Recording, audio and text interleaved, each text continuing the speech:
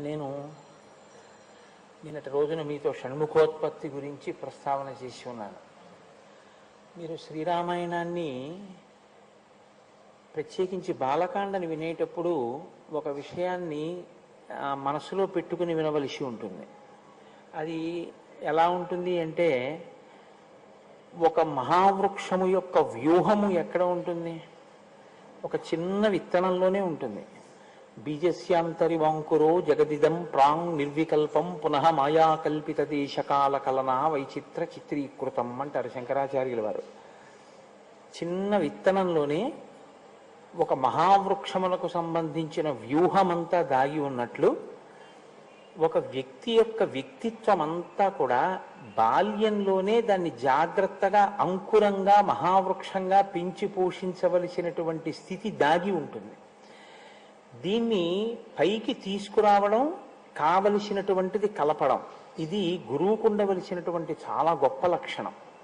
ఇది ఒక్కొక్కసారి కొంతమంది గురువులు ఏం చేస్తారంటే ఒక వ్యక్తి పట్ల ఆ శ్రద్ధ తీసుకుని లోకాన్ని రక్ష చేస్తారు. కొంతమంది ఏం చేస్తారంటే మొత్తం లోకానికి పనికొచ్చేటట్టుగా ఈ బోధ తీసుకొస్తారు. మీరు కొంచెం తేడా గమనించవలసి ఉంటుంది. ఇది ఎలా ఉంటుందంటే అవసరమైంది కలపాలి అక్కర్లేంది తీసేయాలి. ఒక పంట పండాలి అంటే సస్యాన్ని రక్షించాలి. చీడపీడ పట్టకుండా చూడాలి. కొన్ని తీయాలి కొన్ని కలపాలి. అలా కలపడం తీయడం అన్నది లేకపోతే పట్టు విడుపు అన్నది లేకపోతే అసలు ఎప్పుడు జీవితంలో ఏది చేరుకోవాలో దేన్ని సాధించాలో దాన్ని సాధించలేడు దాన్ని చేరుకోలేడు. ఇప్పుడు రామచంద్రమూర్తికి అనేకమైనటువంటి అస్త్రములను కృప చేశారు విశ్వామిత్ర మహర్షి. చాలా తేలిక. అంటే చాలా తేలిక అంటే ఆయన దగ్గర ఉన్నది ఇచ్చేసేయడం తేలిక.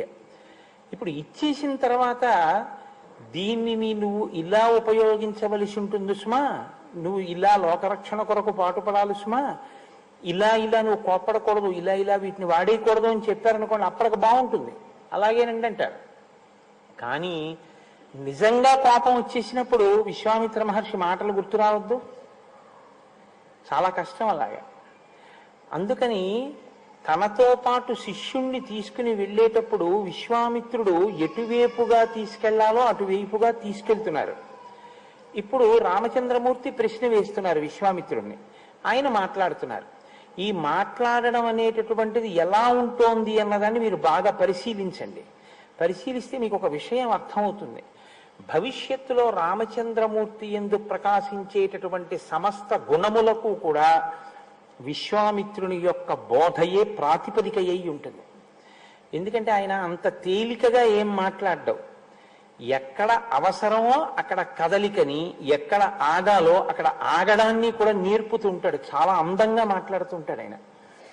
నేను మీకు బాగా ఇది అర్థమయ్యేటట్టు చెప్పాలి అంటే ఒక ఉదాహరణ చెప్తే మీరు పట్టుకుంటారు.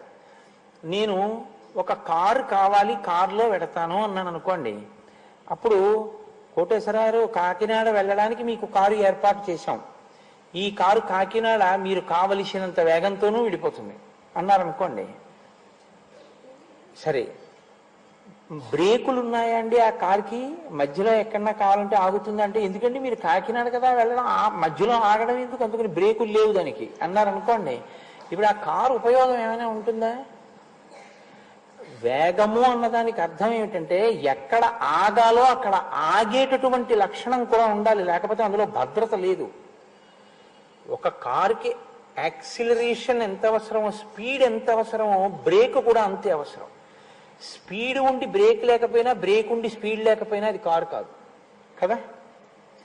వ్యక్తిత్వము అంటే అర్థం ఏమిటంటే చాలా విషయాలు తెలిసిండి చెయ్యకూడనివి చెయ్యకుండా ఉండగలిగినటువంటి నిగ్రహం లేకపోయినా చెయ్యకూడనివి చెయ్యగలిగి చెయ్యకుండా ఉండగలిగిన నిగ్రహం ఉండి తెలుసుకోవలసినవి తెలుసుకుని అనుష్ఠించకపోయినా ఆ వ్యక్తిత్వానికి సమగ్రత ఉండదు. ఇప్పుడు మీరు బాగా దాన్ని పట్టుకున్నారని నేను అనుకుంటున్నాను. ఈ కోణంలో తయారు చేస్తున్నాడు రామచంద్రమూర్తిని విశ్వామిత్రుడు. ఏవి ఇవ్వాలో అవి ఇస్తున్నాడు. అస్త్ర సంపదని ఇచ్చేశాడు. ఏది దేశకాలముల ఎందు చెయ్యాలో నేర్పుతున్నాడు. ఇప్పుడు చెయ్యకూడనివేవో అవి బాగా జ్ఞాపకం ఉండిపోయేటట్టుగా చెప్తున్నాడు. దేని ఎందు బాగా మనసు కుదురుకోవాలో దాన్ని ఉదాహరణతో చూపిస్తున్నాడు. ఇది విశ్వామిత్ర మహర్షి యొక్క ప్రజ్ఞ. ఇదే గురువు యొక్క ప్రజ్ఞ అంటారు. మనకి సనాతన ధర్మంలో ప్రత్యేకించి ఈ బోధ అనేటటువంటి దానికి ఉన్నంత విలువ ఇంకా మిగిలిన దేనికి లేదండి. భారతీ తీర్థస్వామి వారు ఒకసారి అనుగ్రహ భాషణం చేస్తూ ఒక మాట అన్నారు. అసలు సేవలన్నింటిలోకి ఉత్తమమైన సేవ ఏది అంటే బోధ చేయుటయే. ఎందుకో తెలుసా అండి? బోధ చేస్తే వచ్చేటటువంటి మార్పు శాశ్వతం. కాకుండా మీతో ఇవాళకి నేను ఏదో పది రూపాయలు ఇరవై రూపాయలు ఖర్చు పెట్టించడం తాత్కాలికం. అది ఉపయోగపడదు. అందుకే మీరు బాగా గమనించగలిగితే మీరు ఒక రహస్యాన్ని పట్టుకుంటారు. సనాతన ధర్మంలో ఇతరులకు ఉపకారం చేయడానికి కానీ ఇతరులకు సేవ చేయడం కానీ సంస్థాపరమై ఉండదు. మీరు గమనించండి. శంకరాచార్యులు వారు ఎప్పుడు చెప్పినా స్కూల్ పెట్టండి అని శంకరాచార్యులు వారు చెప్పరు. శంకరాచార్యులు వారు హాస్పిటల్ కట్టండి అని చెప్పరు. నేను మన్నింపబడినది కాక నా ఉద్దేశాన్ని సక్రమంగా అర్థం చేసుకోండి. ఎందుకు చెప్పరో తెలుసా అండి? సంస్థాపనం చెయ్యరు సనాతన ధర్మంలో సేవల్ని. ఇది పశ్చిమ దేశ సంస్కృతి. సేవ చేయడానికి ఒక సంస్థ ఉండాలి. మళ్ళీ ఆ సంస్థలో వాళ్ళందరూ చోట కూర్చోవాలి. వాళ్ళందరూ ఒక కప్పు కాఫీ తాగాలి. వాళ్ళు ఏదో మాట్లాడుకోవాలి. మేము ఇచ్చేవాళ్ళం. అవతల వాడు గుచ్చుకునేవాడు. మేము సేవ చేసేవాళ్ళం. వాడు సేవించుకునేవాడు. అది వాళ్ళ సిద్ధాంతం. ఇక్కడ అలా కాదు. జీవితంలో అంతర్భాగం పరోపకారం. అసలు పరోపకారం లేకుండా జీవితం ఇక్కడ లేదు. దానికి సంస్థాపనం చేయడం అన్నది ఉండదు. నా కుండలి నామకుటి నా స్రగ్వి నల్పభోగవాన్ నా హస్తాభరణో ఏది చూడండి మీరు అందుకే అయోధ్య పట్టణంలో ఉండే ప్రజల యొక్క గుణములను వర్ణిస్తే నా దాత అక్కడ దాత కానివాడు లేడు. ఇంకా సంస్థ ఎందుకండి? ఇంకా దానికి క్లబ్బులోను సొసైటీలు ఏమిటి చారిటబుల్ ఇన్స్టిట్యూషన్స్ ఏమిటి సేవ చేయడానికి? అలా ఉండదు. మీ మనసుని ప్రభావితం చేస్తుంది బోధ. ప్రతి వ్యక్తి సేవ చేయడానికి ముందుంటాడంతే. ఎవరో ఒక ఆయనకి ఊళ్ళోకి వచ్చారు ఆయన కొత్తగా ఊళ్ళోకి వచ్చారు. మా ఇంట్లో భోజనం చేయండి అంటే మా ఇంట్లో భోజనం చేయండి అంటారు. అంతేగాని భోజనాలు పెట్టడానికి ఒక సంస్థ ఉండక్కర్లేదు. ప్రతి ఇంట్లో ఉన్నవాడు దానికి సిద్ధంగా ఉంటాడు. ప్రతి ఇంట్లో అందుకే రంతిదేవుడు ప్రభువయ్యుండి ఆ ఉపకారంతో ఉన్నాడు. శిబి చక్రవర్తి ఆ- ఉపకారంతో ఉన్నాడు. సత్యహరిశ్చంద్రుడు ఆ ఉపకార బుద్ధితో ఉన్నాడు. పరోపకార బుద్ధి అనేటటువంటిది వ్యక్తి జీవితంలో అంతర్లీన ప్రవాహం చేశారు బోధ చేత పెద్దలు. తప్ప నువ్వేదో కొంత ఎవరికో ఇచ్చేసేస్తే ఒక సంస్థ సేవలు చేస్తుంటుంది నువ్వు చేయవలసిందే ఉంటుంది. అన్నట్టుగా బోధ ఈ దేశంలో జరగలేదు. అది అసలు అది ఆ సిద్ధాంతం లేదు ఈ దేశంలో. ఈ దేశంలో సిద్ధాంతం మనసుని మార్చడానికి ఉపయోగించి ప్రతి వ్యక్తి ఒక సంస్థ అయిపోయాడంతే. వ్యక్తియే సంస్థ. సంస్థలు సేవ చేయడం వ్యక్తులు దానికి ఏదో కూర్చుని నిర్ణయాలు చేయడం అన్నది ఈ దేశపు సంస్కృతి కాదు. మన దేశపు సంస్కృతి కానిదాన్ని ఇంకొక సంస్కృతి కబళించింది అనుకోండి మూలాలు కదులుతాయి. మీరు ఎప్పుడు గమనించవలసి ఉంటుంది. అందుకే మూలం కదిలిపోయే పనిని ఎప్పుడూ చేయరాదు. శంకర భగవత్పాదులు అందుకే ఆ కోణంలోనే చేస్తారు. బోధ ఎప్పుడు చేసినా ఆయన అలాగే చెప్తారు. విశ్వామిత్రుడు రామచంద్రమూర్తితో మాట్లాడితే మీరు కేవలం ఆయన ఏవో జరిగిపోయిన విషయాలు చెప్తున్నాడు జరిగిపోయిన కథలు చెప్తున్నాడని వినకండి. ఆయన చెప్తున్నప్పుడు మీరు వినేటప్పుడు ఈ కోణంలో వింటూ ఉండండి. ఇలా వింటే మీరు రామచంద్రమూర్తి యొక్క పాత్రలోకి పరకాయ ప్రవేశం చేయండి. ఆయన ఒక బ్రహ్మచారి ఇంకాను. తండ్రి చాటు బిడ్డ. ఇప్పుడే కొత్తగా బయటికి వచ్చాడు విశ్వామిత్రుడితోటి. విశ్వామిత్రుడు మాట్లాడేటటువంటి మాటల యొక్క ప్రభావం రామచంద్రమూర్తి జీవితం మీద ఉండి తీరుతుంది. ఎందుకో తెలుసా అండి? ఆయన ఒకటి నమ్మాడు జీవితంలో. మా నాన్నగారు చెప్పింది అంటే నాకు అది ఖచ్చితంగా ఉపయుక్తమే. ఇది నమ్మాడు. వాళ్ళ నాన్నగారు ఏం చెప్పారు? విశ్వామిత్రుడితో వెళ్ళి ఆయన ఏం చెప్తే చెయ్యి అన్నారు. ఇప్పుడు విశ్వామిత్రుడు ఏం చెప్తే చేస్తే ఏం చెప్తే అది నమ్మితే ఆయన వ్యక్తిత్వం మలచబడుతోంది. మలచబడుతోంది అంటే విశ్వామిత్రుడు మాట్లాడేటటువంటి మాటలే వాటి యొక్క సారాంశమే ప్రవర్తన ఎందు రాముడు. ఇప్పుడు రాముని యొక్క ప్రవర్తన గొప్పదైతే కీర్తి ఎవరిది? విశ్వామిత్ర మహర్షిది వశిష్ఠ మహర్షిది. ఒక వ్యక్తి వృద్ధిలోకి వచ్చి పది మందికి పనికొచ్చాడు. ఎవరిది ఆ గౌరవం? గురువు గారిది మీరు మొక్క చిన్నదై ఉన్నప్పుడు నీళ్ళు పోస్తారు కానీ మహావృక్షం అయినప్పుడు దానికి నీళ్ళు పొయ్యరు.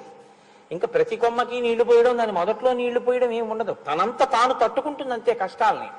తట్టుకుని నిలబడుతుంది. ఇప్పుడు అది మహావృక్షం అయ్యేంత వరకు పోషిస్తాడు వ్యక్తి. అప్పుడు ఇంకా మేకొచ్చి తినేనివ్వండి. కోతొచ్చి కొమ్మ విరిచేయనివ్వండి. దొంగలు వచ్చి ఎక్కి కొమ్మలు కొట్టుకు పోనివ్వండి. తనని తాను మళ్ళీ వృద్ధిలోకి తెచ్చుకోవడాన్ని ఆ చెట్టు నేర్చేసుకుంటుంది అంతే అంతేగాని దానికి ఎవరు ఇంకా రక్షకులు ఉండరు మహావృక్షం కింద మలిచాడు విశ్వామిత్ర మహర్షి. ఇది మీరు బాగా పట్టుకోగలిగితే మన కర్తవ్యం ఏమిటో కూడా మనకు బోధపడుతుంది. ఇందులో రెండు భాగములు ఉంటాయి రాముణ్ణి విశ్వామిత్రుడు తయారు చేశాడు. అయిపోలేదు. మీరేం తయారు చేస్తున్నారు? నేనేం తయారు చేస్తున్నాను? ఒక మాటకంత ప్రభావం ఉంటే విశ్వామిత్రుడు మాటతో రాముణ్ణి తయారు చేయగలిగితే మీరు మీ మాటతో కూడా ఏమైనా ఉపకారం చేస్తున్నారా లోకానికి? బోధ చేసేటప్పుడు ఒకరికి ఉపయుక్తమైనటువంటి మాట మీరు ఏదైనా మాట్లాడుతున్నారా? మీ మాట వల్ల ప్రభావితమై ఆయన జీవితంలో ఒక కొత్త కోణం ఏదైనా ఆవిష్కరింపబడుతోందా? ఒక చెడుని వదిలిపెట్టి ఒక మంచిని కలుపుకోగలుగుతున్నాడా? అలా మీరు ఏమైనా మాట్లాడగలుగుతున్నారా? మీ మాట దీనికి ఏమైనా పనికొస్తోందా సమాజంలో? ఇది అంతఃపరిశీలనం చేసుకోవడం ఋషి రుణం తీర్చుకుని ఋషి పథంలో మనం ప్రయాణించడం. ఇది మీరు దృష్టిలో పెట్టుకున్నప్పుడు విశ్వామిత్రుడు చెప్పేటటువంటి ప్రతి మాట విశ్వామిత్రుడు రాముడితో కలిసి కదిలిన ప్రతి కదలిక వెనక చాలా గొప్ప విషయాలు అనేక ఉంటాయి. ఎందుకంటే మీరు చూడండి పునాది అన్నది బాగా లేదనుకోండి మీరు ఎంత సౌధం కట్టినా ఇంక అది నిలబడదు. అందులో ఉండడం కూడా కష్టం. ఎందుకంటే పునాది బాగులేదు ఎప్పుడు పడిపోతుందో తెలియదు పునాది బాగుంటే సౌధం బాగుంటుంది. రామాయణంలో రామచంద్రమూర్తి పాత్ర ఒక మహాసౌధం. అది యుగ యుగాలకి నీడనిచ్చే సౌధం. అటువంటి సౌధం నిర్మింపబడడానికి ఒక పునాది ఉంది ఆ పునాది బాలకాండలో ఉంది. ఆ పునాది వేసిన వాళ్ళిద్దరు. ఒకరు వశిష్ఠుడు ఒకరు విశ్వామిత్రుడు. వాళ్ళు వేసింది రాముడికి కాదు. రాముణ్ణి అడ్డుపెట్టి నరజాతికంతటికి వేశారు.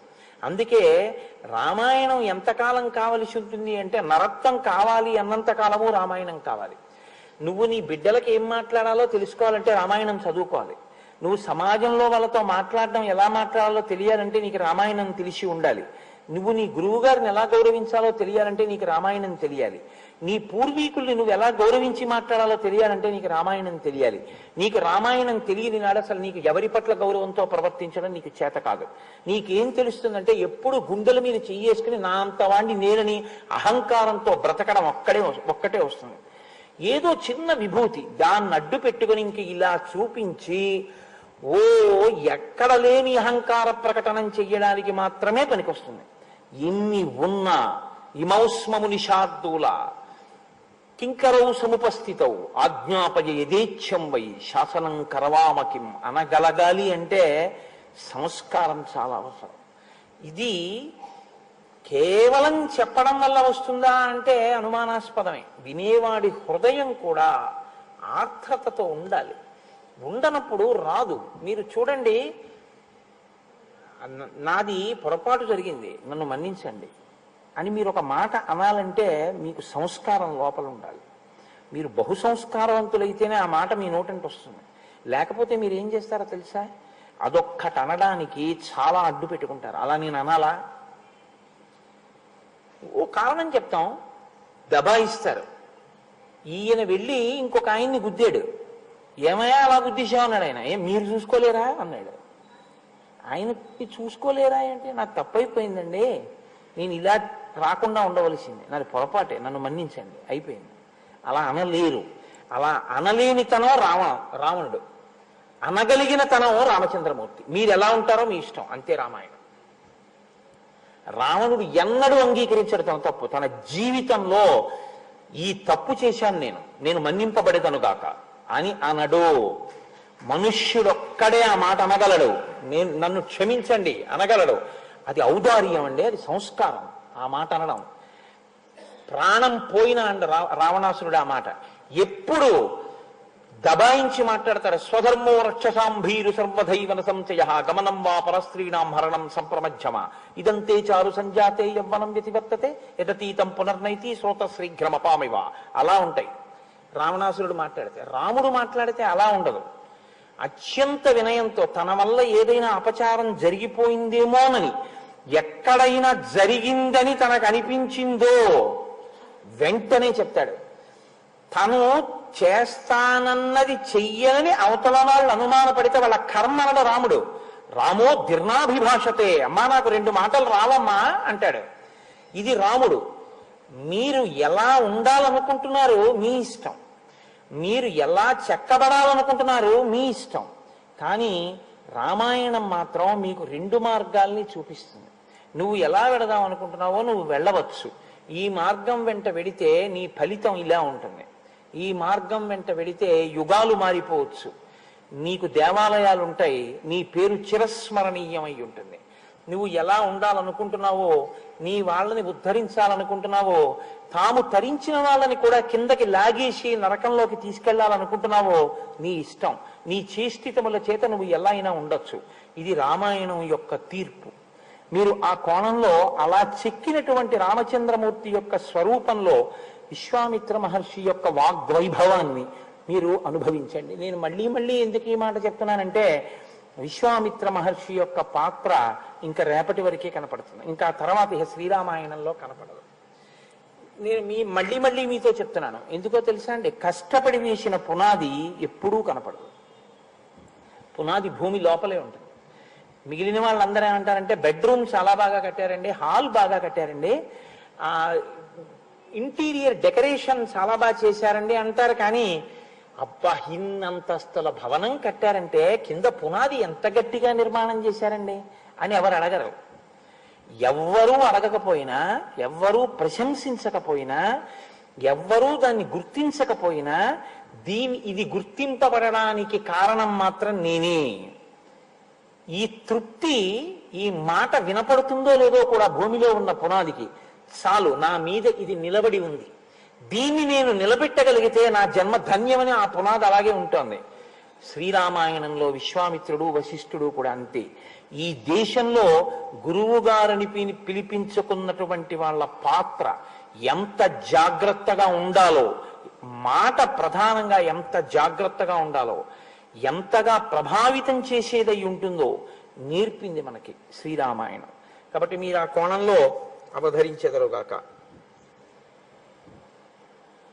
రామచంద్రమూర్తితో మాట్లాడుతున్నాడు విశ్వామిత్రుడు. నిన్నటి రోజున షణ్ముఖోత్పత్తి చెప్పారు. రాముడు అన్నాడు అసలు నిజంగా నాకు ఆ షణ్ముఖోత్పత్తి వింటుంటే ఆ సుబ్రహ్మణ్య జననం వింటుంటే నాకు చాలా ఆశ్చర్యంగా ఉంది అన్నాడు.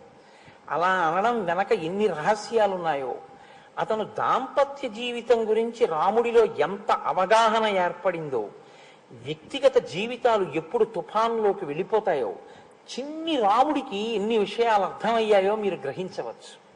ఇప్పుడు అంటున్నాడు విశ్వామిత్రుడు అయోధ్యాధిపతి శూర పూర్వమాసీన్ నరాధిప సగరో నామధర్మాత్మ ప్రజాకామ సచా ప్రజ వైదర్భిదుహిత రామ కేశినీ నామ నామత జ్యేష్ఠా సగర పత్నీ సా ధర్మిష్ఠా సత్యవాదిని అరిష్టనీ విదుహిత రూపేణ ప్రతిమా భువి ద్వితీయా సాగరస్యాసీత్.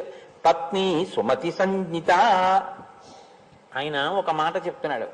రామ మీ వంశంలోని. పూర్వం సగరుడు అనబడేటటువంటి ఒక చక్రవర్తి ఉండేవాడు. ఆయనకి ఇద్దరు భార్యలు. దక్షిణ నాయకత్వం అంటారు. దక్షిణ నాయకత్వం అంటే బహుభార్యాత్వం. ఒకరికన్నా ఎక్కువ. అది మహారాజులకు అంగీకరింపబడింది. దశరథ మహారాజు గారికి మూడు వందల అరవై ఐదు మంది భార్యల కన్నా ఉండేవారు అని. కాబట్టి అయోధ్యాధిపతి శూర. అయోధ్యాధిపతి అయినటువంటి మహాశూరుడైనటువంటి సగర చక్రవర్తికి ఇద్దరు భార్యలు. ఆయన పరమధర్మాత్ముడు. రాజ్యాన్ని చాలా ప్రజల మనసు చూరగొనేటటువంటి రీతిలో పరిపాలన చేసినటువంటి వాడు. వైదర్భ దుహితారామ కేశిని నామనామత. ఆయన విదర్భరాజు యొక్క కుమార్తె అయినటువంటి కేశిని ఆయన యొక్క పెద్ద భార్య. ఆవిడ జ్యేష్ఠా సగర పత్ని సా ధర్మిష్ఠా సత్యవాదిని. ఆమె చాలా ధర్మమును అనుష్ఠించేటటువంటి స్వభావము కలిగినది. సత్యమును మాట్లాడుతుంది. అరిష్టనే విదుహిత రూపేణ ప్రతిమా భువి. ద్వితీయ ద్వితీయా సాగరస్యాసీత్. పత్ని సుమతి సంజ్ఞిత అరిష్టనేమి అని మారు పేరు కలిగినటువంటి కశ్యప ప్రజాపతి యొక్క కూతురు అన్నారు వ్యాఖ్యాతలు చాలా చోట్ల. ఆ అరిష్టనేమి యొక్క కుమార్తె అయినటువంటి సుమతి అనబడేటటువంటి ఆమె గొప్ప లావణ్యవతి సౌందర్యవతి. ఆమె సగర చక్రవర్తి యొక్క రెండవ భార్య. ఇద్దరు భార్యలతో సగర చక్రవర్తి చాలా సంతోషంగా కాలం గడుపుతున్నాడు. సంతానం లేదు. ఇక్ష్వాకు వంశంలో తరచుగా ఈ సమస్య మీకు కనపడుతూ ఉంటుంది. సంతానం ఉంటూ ఉండదు. దిలీపుడు అదే సమస్య. శగర చక్రవర్తి అదే సమస్య. దశరథ చక్రవర్తి అదే సమస్య. అందుకే భగీరథుడు దీనికి ఒక శాశ్వతమైన పరిష్కారాన్ని సాధించే ప్రయత్నం చేశాడు. అంటే వంశ చరిత్రని అర్థం చేసుకోవడం అన్నది ఎంత ముఖ్యమో మీరు తెలుసుకోవలసి ఉంటుంది. ఇవాళ మనకి ఏమైపోయిందంటే లోకంలో చదువు అంటే అది ఎక్కడి వరకు పరిమితం అయిపోయిందంటే కేవలం పుస్తకం చదువుకోవడం అంతే చదువు అంటే. తప్ప మీ తాతగారు ఎవరండి అని అడిగారు అనుకోండి తెలియదు మీ గోత్రం ఏమిటండి అని అడిగారు అనుకోండి తెలియదు మీ ఋషులు ఎవరండి అని అడిగారు అనుకోండి ఏమి తెలియదు మీ మేనత్ ఎవరు వాడికి తెలియదు ఎందుకంటే మనం అసలు పంపం. అందులో ఎటువంటి సిస్టమ్ మనం ఇవాళ తయారు చేసేసుకున్నామంటే ఇది ఒక దారుణమైనటువంటి స్థితి. నాకు తరచుగా అదే జ్ఞాపకానికి వస్తూ ఉంటుంది. పౌల్ట్రీ ఫార్మ్స్ ఉంటాయి. ఈ కోళ్ళు పెంచేటటువంటివి మీరు ఎప్పుడైనా చూశారో లేదో? నీకు అదే పని అనుకోకండి. చూసినది గుర్తొస్తుంటుంది అంతే. ఆ పౌల్ట్రీ ఫార్మ్స్లో కోళ్ళని పెంచుతూ ఉంటారు. అవి ఎక్కువ స్వేచ్ఛగా తిరగడానికి చోటు ఉంచరు. కోడి పక్కన కోడి కోడి పక్కన కోడి దగ్గర దగ్గరగా పెరుగుతాయి. ఎందుకంటే అవి కొంచెం ఎక్కువ కదిలితే వాటికి ఉన్నటువంటి శక్తి క్షయం అవుతుందని ఎక్కువ కదలడానికి అవకాశం ఇవ్వరు వాటికి. అది అక్కడే పుడుతుంది. అక్కడే పెరుగుతుంది. అక్కడే తింటుంది. అక్కడే విసర్జిస్తుంది. అక్కడే గుడ్డెడుతుంది. వాడు వచ్చి కింద నుంచి గుడ్లెట్టుకుపోతాడు. ఆఖరణ దాని యొక్క ఒకే ఒక యాత్ర ఏమిటంటే అదే దాని అంతిమ యాత్ర. వాటి కాళ్ళన్నీ కలిపి ఓ గుత్తి కింద కట్టి పట్టుకుపోతారు. చాలా దారుణంగా ఉంటుంది ఆ స్థితి. ఆ తీసుకెళ్ళడం కూడా ఆ పాపం తలలు రోడ్డు కొట్టుకుపోతుంటే తీసుకెళ్తారు. తీసుకెళ్ళి పైన ఎక్కింది అంటే దాని కంఠం పోయిందని గుర్తు. కింద ఉంది అంటే కంఠం పోవడానికి క్యూలో ఉందని గుర్తు. అంతే దాని జీవితం. ఇవాళ మనం పిల్లల్ని స్కూలుకు పంపించే విధానం కూడా అంతే. ముప్పై మంది కూర్చునేటటువంటి తరగతి గదిలో పౌల్ట్రీ ఫామ్లో కోళ్ళు ఎలా ఉంటాయో అలా అరవై మంది కూర్చుని ఉంటారు. పొద్దున్న ఆరు గంటలకు వెళ్తే రాత్రి ఎనిమిది గంటల వరకు చదివే దిక్కుమాల చదువు. ఆ చదువుకు అర్థమే ఉండదు. వాడికి ఇంకేమీ తెలియదు వాడికి ఏం తెలుసు అంటే స్టాప్ వాచ్ పెట్టి అరవై నిమిషాల్లో ఎన్ని బిట్లు చేసేయగలం. సంస్కారాన్ని పక్కన పెట్టని చదువు. ఇదే ప్రమాదం అంతా తీసుకొచ్చేస్తుంది. అక్కడే వచ్చింది ఇబ్బంది అంతా చదువుది తప్ప అంటే సంస్కారం లేని చదువుది తప్పు. సెల్ ఫోన్ది తప్ప అంటే సెల్ ఫోన్ది తప్పు కాదు. ప్రవచన మంటపంలో సెల్ ఫోన్ వినడం సెల్ ఫోన్ మాట్లాడడం సెల్ ఫోన్ రింగ్ వచ్చేటట్టుగా దగ్గర పెట్టుకోవడం తప్పు.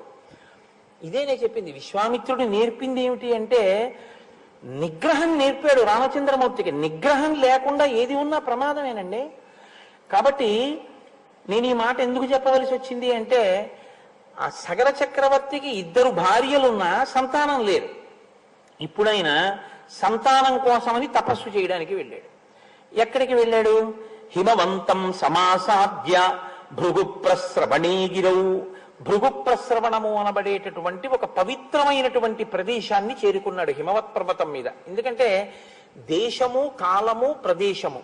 దేశమే ప్రదేశము. దేశమునకు ఒక శక్తి ఉంటుంది. శృంగేరి పీఠం శృంగేరిలోనే ఎందుకు ఉండాలి? గుంటూరులో పెట్టకూడదా? శంకరాచార్యులు వారంటే శృంగేరిలో ఆ శక్తి కనపడింది తపో శక్తి దేశమునకు ఆ శక్తి ఉంటుంది భూమండలమునకు. కాబట్టి ఇప్పుడు అక్కడికి వెళ్ళి ఆయన తపస్సు చేశాడు భార్యలతో కలిసి. ఎవరి గురించి? అదో గమ్మత్తు. భృగు మహర్షి గురించి తపస్సు చేశాడు. మహర్షి దర్శనానికి తపస్సు చేశాడు. అంటే మీరు ఇక్కడ ఒక విషయాన్ని గమనించవలసి ఉంటుంది. దేవతలు ఎంత శక్తివంతులో ఋషులు కూడా అంతే శక్తివంతులు. ఋషి కూడా మీకు అలాగే కృప చెయ్యగలడు. కాబట్టి ఆయన ఋషి గురించి తపస్సు చేశాడు. చేస్తే ఋషి ప్రత్యక్షమయ్యారు భృగు మహర్షి. దేనికి తపస్సు చేస్తున్నావు? అది అడగక్కర్లేదు ఆయనకి తెలుసు. ఆయన అన్నాడు నీకు ఇద్దరు భార్యలు కదా ఒక భార్య ఎందు బహుసంతానము అంటే చాలా మంది పిల్లలు పుడతారు. ఒక భార్య ఎందు వంశకరుడు జన్మిస్తాడు. చాలా తథాస్తు. ఆయన వెళ్ళిపోతున్నారు కుతూహలం అని ఒకటి ఉంటుంది లోకంలో. కుతూహలం అన్నది ఎందులోంచి వస్తుందో తెలుసా అండి? మీ మనసు యొక్క స్థితిలోంచి వస్తుంది. వెంకటాచలంలో దర్శనం చేసుకుని మీరు బయటికి వస్తున్నారు అనుకోండి ప్రసాదం ఇస్తూ ఉంటారు ఇలా ఇలా ఇలా ఇలా చూస్తుంటాడు. ఇటు కౌంటరు అటు కౌంటరు రెండు దారులు ఉంటాయి. ఇటు నుంచి ఇస్తారు అటు నుంచి ఇస్తారు. ఇటు అటు కూడా చూసి పెడతాడు. ఎందుకంటే చక్ర పొంగల్ ఇటిస్తున్నారని చూస్తాడు. అంటే తనకి ప్రసాదం మీద కుతూహలం కన్నా చక్ర పొంగలి మీద కుతూహలం ఎక్కువ. జిహ్వ చాపల్యం అక్కడ కూడా ఉంది అని గుర్తు. సరే ఏమో ప్రసా చక్ర పొంగల్ని ప్రసాదంగా తీసుకున్నాడు కదండి అంటే ఏమో కొంతవరకు పర్వాలేదేమో. కానీ ప్రసా అదేంటంటే ఎట్టెడితే ఏదిస్తే అది ప్రసాదం అండి నాకు. అన్నవాడికి అలా చూడక్కర్లేదు. అక్కడికి వెళ్ళి చెయ్యి పెట్టి చేతిలో ఏం పెడితే కళ్ళ కత్తుకుని అది నోట్లో పెట్టుకుని వెళ్ళిపోతాడు. కదా? కుతూహలం ఎక్కడ ఉంటుందో అంటే మనసు యొక్క స్థితిని బట్టి ప్రశ్న వస్తుంది ఎప్పుడూను. నేను అందుకే మీతో మనవి చేశాను. అదొక పెద్ద మనస్తత్వ శాస్త్రం అండి. శ్రీరామాయణం బాగా జీర్ణమైతే మీతో మాట్లాడే మనిషి యొక్క మాటని బట్టి ఆయన సంస్కారాన్ని లెక్క కట్టేస్తారు మీరు.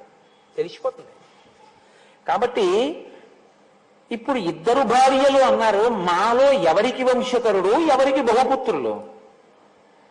అంటే ఇద్దరికి ఏదో కోరిక ఉందిగా ఇద్దరూ ఎక్కువ సంతానమే కావాలని కోరుకుంటే ఇబ్బంది కానీ ఇద్దరికి ఏమో వేరు వేరు కోరికలు ఉన్నాయేమో. అంటే భృగు మహర్షి అన్నారు ఆ గొడవ ఎందుకు మీకు? మీకు ఎలా కావాలి అడగండి?